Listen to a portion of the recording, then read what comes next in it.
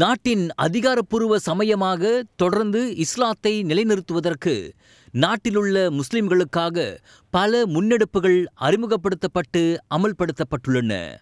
மக்கசிட் ஷாரியா மீதான மலேசியாவிற்கான நிர்வாக முன்மாதிரியாகவும் வழிகாட்டியாகவும் மலேசிய ஷாரியா குறியீடு அறிமுகப்படுத்தப்பட்டதும் இவற்றுள் அடங்கும்.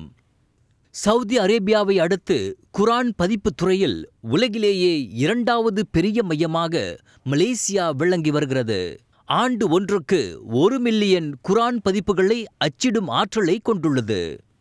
ஈராயிரத்து பதினேழாம் ஆண்டு பட்ஜெட்டின் கீழ் தாஃபீஸ் கல்வியை சீரமைக்கும் ஒரு முயற்சியாக அரசாங்கம் தேசிய தாஃபீஸ் கல்விக் கொள்கையை அறிமுகப்படுத்தியிருக்கிறது.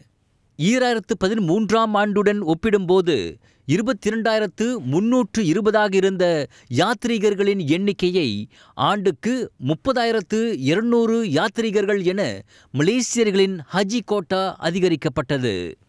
தேசிய முன்னணி அரசாங்கத்தின் கீழ் ஒரு முன்மாதிரி நவீன மற்றும் முற்போக்கு இஸ்லாமிய நாடு என்ற புகழை மலேசியா அடைந்துள்ளது. தென் தாய்லாந்து சச்சரவு மற்றும் பிலிப்பீன்ஸ் அரசுக்கும் எம்ஐஎல்எஃப் இயக்கத்திற்கும் இடையேயான சச்சரவு ஆகியவற்றில் அமைதியை உருவாக்கிய சமரச பேச்சில் மலேசியா நடுவராக பணியாற்றியது.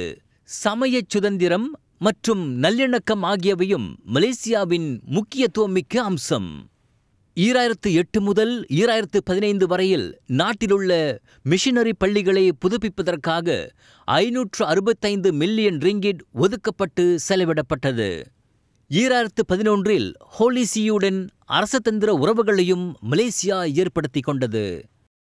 தேசிய முன்னணி நாங்கள் வாக்குறுதிகளை நிறைவேற்றுகிறோம். மக்களே பிரதானம் இப்பொழுதே செயலாக்கம்.